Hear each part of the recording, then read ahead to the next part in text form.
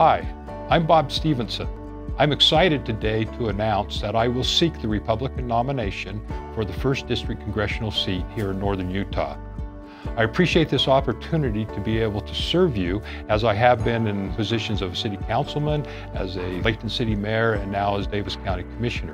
One of the things that I have learned in this process is the importance of listening to you, the residents, you, the citizens of this great state, understanding your points of view, and then getting things done.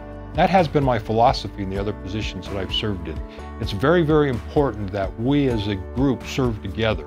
This isn't about an I, this is about we. And if we work together on trying to make this state, this country better, we will succeed in doing that.